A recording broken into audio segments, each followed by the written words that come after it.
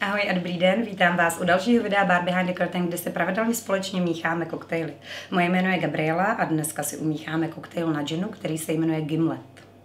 Co je na Gimletu velice zajímavé, tak vlastně to, že svým způsobem vznikl jako medicína, protože vznikla jako prevence proti kurdejím, kurdějím. Už v 17. století se objevily kurděje, což byla nemoc, která provázela hlavně námořníky a to z toho důvodu, že vlastně námořníci byli dlouho na lodi, jedli málo ovoce, měli málo vitamínů a lékaři zjistili, že právě vitamíny, hlavně z citrusového ovoce, jsou prevencí proti kurdějím. A proto v, noc, v roce 1867 zavedli povinnou zásobu limetkové šťávy na lodích, na britských lodích. No a aby to ti chudáci námořníci nemuseli pít úplně samostatně, tak jim k tomu dávali také sudy rumu. To znamená, že námořníci vlastně pili něco jako dnešní grok. Rum a limetkovou uh, šťávu. No a jejich nadřízení, tedy oficíři, pili něco, co předtím bylo považováno za něco lepšího, a to konkrétně gin s limetkovou šťávou. No a vlastně to je, dá se říct, gimlet, protože gimlet je postavený právě na ginu, na limetkové šťávě, samozřejmě ideálně 100%, a na cukrovém syrupu. V tom samém roce, jako byla uh, udělaná ta povinná zásoba na lodích, tedy v roce 1867, nějaký pár, který se jmenoval Lochlin Rose, tak eh, vymyslel a nechal si patentovat takzvaný Roses Lime Cordial. Roses Lime Cordial byl vlastně, byla vlastně zakonzervovaná limetková šťáva, kdy on naředil tu limetkovou šťávu uh, nějakým správným poměrem s cukrovým syrupem a díky tomu to dlouho vydrželo. On se to nechal patentovat, nalahvoval to, no a vlastně do dneška Roses Lime Cordial uh, v tom, toho původního jména můžete sehnat uh, v prodejnách. Díky tomu, že vlastně námořníci pili hlavně limetkovou šťávu na lodi, tak to je docela zajímavé, se námořníkům tehdy říkalo limeys. Takže až to někdy uslyšíte v souvislosti s námořníky, tak už budete vědět, proč tomu tak je. První zmínka o koktejlu Gimlet vyšla v roce 1937 v knize Savoy Cocktail Book od Harryho Credoka, kterou už jsem tady několikrát zmiňovala. A ten Harry Credok doporučuje krom toho ginu dát do Gimletu 50 eh, na 50 limetkové šťávy a cukrového syrupu. No a vlastně i to my dneska v receptuře dodržíme, takže se budeme držet toho původního receptu. A proč se vlastně Gimlet jmenuje Gimlet? I tato historka je malinko opředená tajemstvím. Jsou tu dvě možnosti. Ta první je, že se tomu Gimlet říká podle takové té vývrtky do sudu, kterou právě námořníci používali, když vyvrtávali uh, do sudu díru, aby se dostali k tomu alkoholu. No a nebo podle pána, který uh, byl lékař a jmenoval se admirál Sir Thomas Desmond Gilman a byl to vlastně lékař, který hlavně doporučoval jako prevence proti kurdějím pít těm námořníkům právě gin s limetkovou šťávou. A my si pojďme tento výborný koktejl umíchat. Potřebujeme k tomu shaker, jak už jsem říkala, potřebujeme k tomu ideálně 100% limetkovou šťávu, cukrový syrup, ideálně nějakou limetu na ozdobu a gin.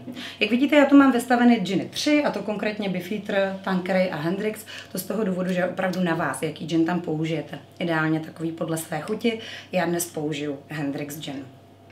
Toho ginu tam dáme nejvíc, potřebujeme ho 60 ml a všeho ostatního potřebujeme asi takových 25 ml. A to limetkové šťávy i cukrového syrupu. Pokud se správně pamatujete z mých minulých videí, kde jsem vám říkala takovou pomůcku, že je vždycky lepší do shakeru dávat jako první ty levné tekutiny a až potom ty drahé, kdybychom to náhodou popletli, abychom nevylívali to, co je dražší, tak my jako první použijeme cukrový syrup a dáme ho do shakeru 25 ml.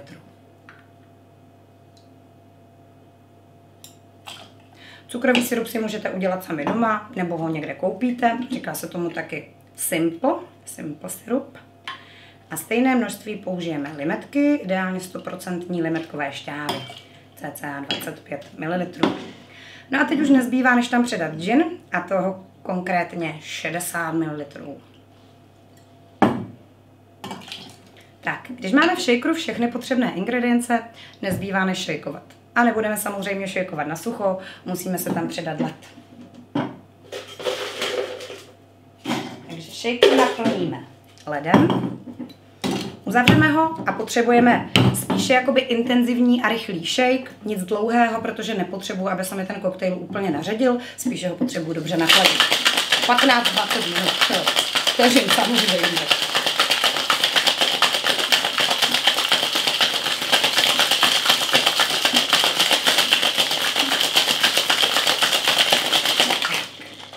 Jakmile máme koktejl dobře nachlazen, což už krásně cítím přes ten shaker, studí. Tak, potřebuju dvojité síto, double strainer, nechci tam mít úplně ty krystalky toho ledu, chci mít ten koktejl pěkně čistý. Tak, no, do poslední kapky úplně natěsno. Vidíte, že takzvaná washline, eh, což se vlastně tomu říká v barmanské branži, když lícuje ten koktejl s tou sklenicí, mi vyšla úplně perfektně, teď se mi bude těžko upíjet a těžko zvedat, abych vám řekla, jak chutná. No a nezbývá, než ten koktejl ozdobit. Můžeme ho ozdobit několika způsoby, samozřejmě ideálně limetkou a je na vás, jestli ukrojíte vlastně kolečko té limetky, nebo jestli eh, škrabkou uděláte takzvaný píl, vlastně úzký proužek, který můžete samozřejmě nějakým způsobem zakroutit a třeba ho nějak takto apartně zavěsit na skleničku. Já mám radši, když se tam používá to kolečko a to z toho důvodu, že uh, nechávám vlastně na zákazníkovi nebo na kamarádovi, kterému koktejl podává, pokud má někdo rád kyselější koktejl, tak si tu limetku, která může být třeba zavěšená na boku na skleničce, může klidně i hodit do toho koktejlu. Já si ji tady naříznu, abych je mohla na tu skleničku takto zavěsit a můžeme gimlet podávat klidně takto.